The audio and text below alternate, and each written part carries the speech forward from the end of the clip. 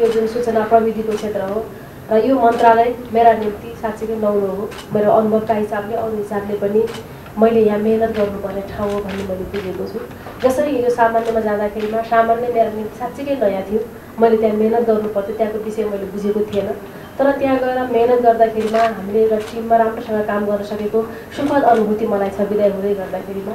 त्यसै गरेर यो मन्त्रालयमा आइसकेपछि सफल असफल भन्ने कुरा त्यहाँको टिम र त्यहाँभित्रको परिवारको कुरा हो भन्ने मलाई लाग्छ। एकजना व्यक्ति आफैमा सफल र असफल हुन सक्दैन। त्यहाँभित्रको टिम सक्षम भयो सबल भयो हाम्रो सहकार्य एक आपसमा सकारात्मक भएर गयो भने हामी सबै सफल हुन्छौँ र हामी सबै सफल हुनु भनेको मन्त्रालय सफल हुनु मन्त्रालय सफल हुनु भएको सरकार सफल हुनु र सरकार सफल हुनु भनेको देश सफल हुनु हो। यस क्षेत्रको अगुवाई गरेर काम गर्ने सन्दर्भमा म सधैँ खुल्ला छु सधैँ अगाडि बढ्न खोज्ने छु र यस क्षेत्र मेरो निम्ति मैले अघि पनि भने मेरो निम्ति नयाँ हो। मैले यहाँ आएर धेरै सिक्नुपर्नेछ र सिक्ने कुरामा म एउटा विद्यार्थी सरह सिक्न पनि म कति पनि पछाडि पर्ने छैन। हामीले एउटा व्यवस्थित ढङ्गले काम अगाडि बढाउनेछौँ र हिजोको विगतका सरकारले गरेका सबै राम्रा कामहरूलाई हामीले स्वामित्व ग्रहण गर्नेछौँ त्यसलाई अगाडि बढाउन खोज्नेछौँ भने अरू थप नयाँ काम गर्नको निम्ति पनि फेरि हामी उद्यत हुनेछौँ। हामी त्यही ढङ्गले हामी अगाडि बढेर जानेछौँ।